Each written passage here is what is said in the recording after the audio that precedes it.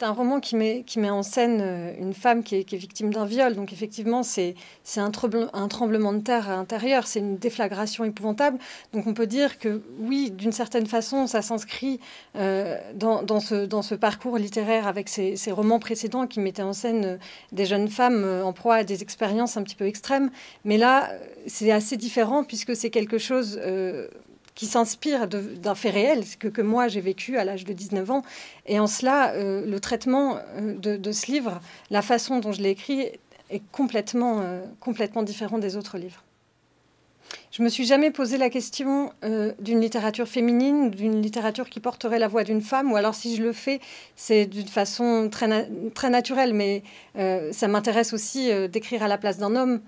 D'ailleurs, c'est ce que j'ai commencé à faire pour, euh, pour d'autres projets, mais euh, en tout cas, c'est pas quelque chose de, de revendiquer euh, de façon consciente. Je l'ai fait parce que ça s'imposait à moi de cette façon-là, à ce moment-là. Alors, ce livre, je l'ai écrit maintenant, 12 ans après les faits.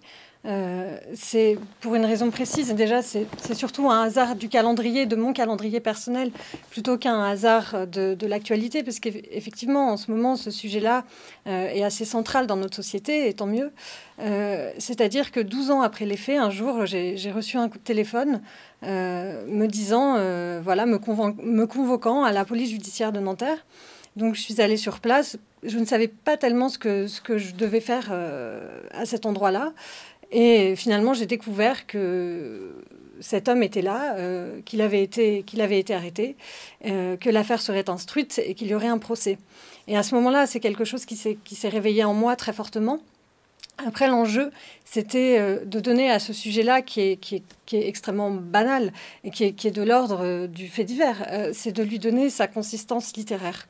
c'est ça qui était pour moi un, vrai défi, c'est-à-dire essayer de, trouver les mots pour ne pas justement rendre encore une fois ce sujet à la banalité.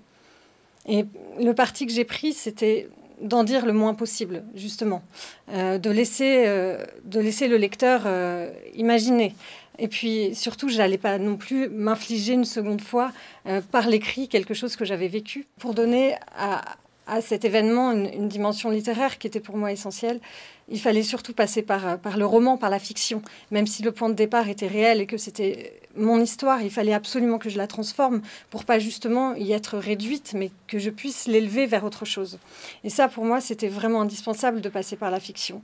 Euh, et justement, euh, ce qui est intéressant aussi dans la, dans la fiction, c'est c'est qu'elle me permet, elle m'a permis de réinventer complètement cette histoire, de me la réapproprier totalement, puisque de toute façon, j'en avais oublié euh, l'essentiel. Enfin, ça, c'est vraiment un des principes de la, mémoire traumatique, et c'est assez pratique pour ça, c'est qu'on oublie énormément de choses. Et dans, dans tous ces gouffres-là, justement, de la mémoire et de l'oubli qui s'est propagé, j'ai pu réinventer mon histoire, réinventer une histoire. Et d'ailleurs, que ce soit moi ou quelqu'un d'autre, ça n'a plus vraiment d'intérêt à l'arrivée.